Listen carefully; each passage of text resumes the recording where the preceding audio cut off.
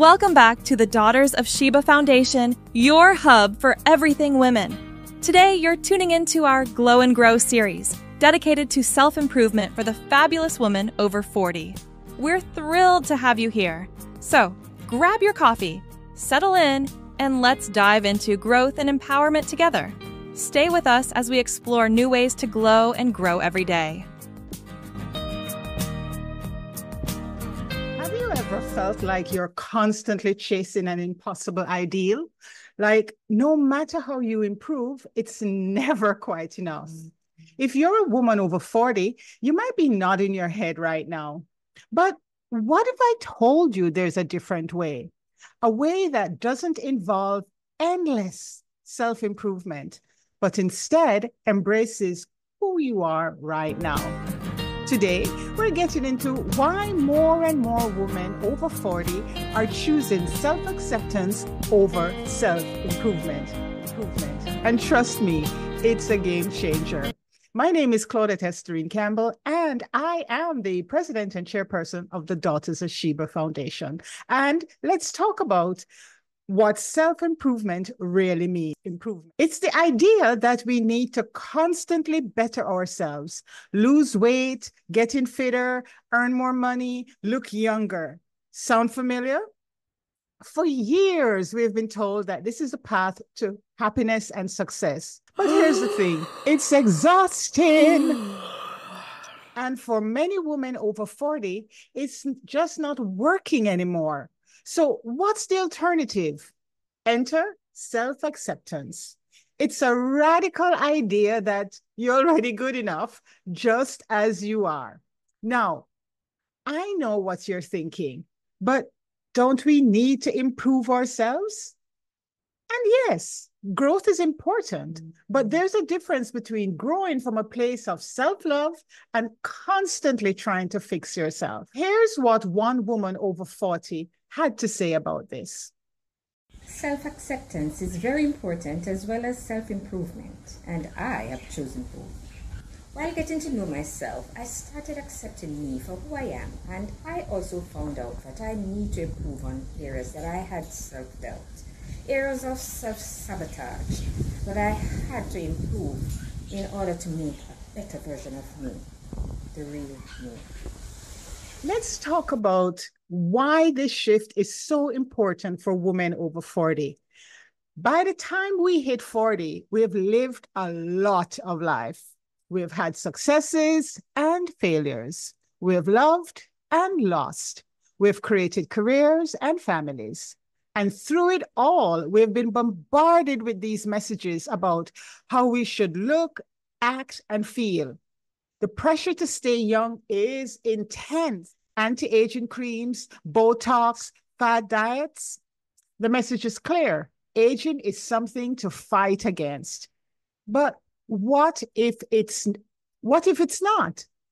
What if the lines on our faces are signs of wisdom, not flaws to be erased? Then there's a pressure to have it all a successful career, a perfect family, an Instagram worthy or TikTok worthy home. Oh, and don't forget to stay fit and look fabulous while doing it all. It's no wonder so many of us feel like we're falling short. But here's the truth these standards are highly unrealistic. They're based on a narrow definition of success and beauty, and they completely ignore the richness and complexity of real women's lives. So, how do we shift from self improvement to self acceptance? It starts with awareness.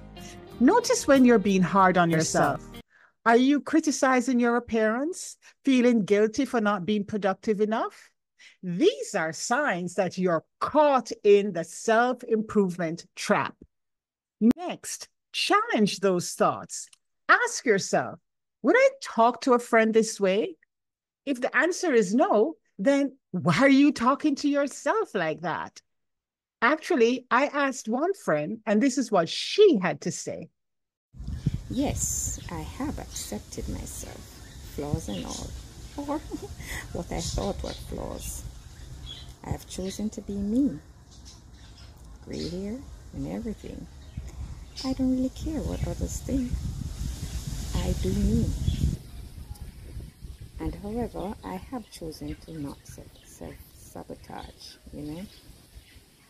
I have chosen to step out of my box, accept opportunities that I want to accept, but was afraid to do so. I have changed my fear to freedom. Freedom to be me, not to be anybody else or what others deem me to be. I am me, and that's what I've chosen.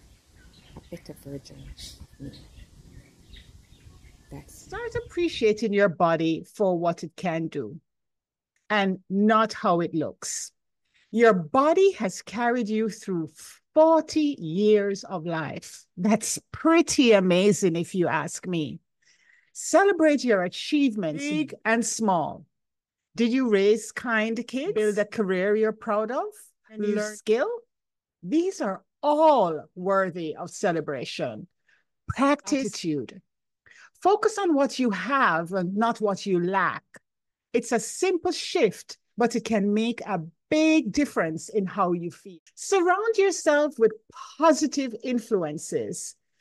Follow, listen to this one, follow social media accounts that make you feel good about yourself.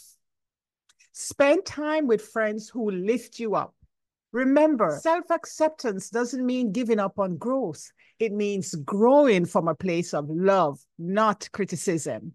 It's about adding to your life, not thinking or trying to fix what isn't broken. My friend Colleen, who you just saw, and I, and so too many women in the Daughters of Sheba Foundation, we aren't settling. We are choosing to value ourselves just as we are. And in doing so, we're enjoying a deep sense of peace and contentment. Now, I want to be clear self acceptance isn't always easy. We've been conditioned for years to focus on self improvement. It takes time and practice to shift that mindset. Be patient with yourself. Remember, you don't have to reject all self improvement. The key is to approach it from a place of self love, not self criticism. Want to learn a new skill? Fantastic. But, but do it because it excites you, not because you feel inadequate about it. So, as we wrap up, I want you to think about this. What would your life look like if you accepted yourself fully? How would it feel to wake up each day knowing you are enough?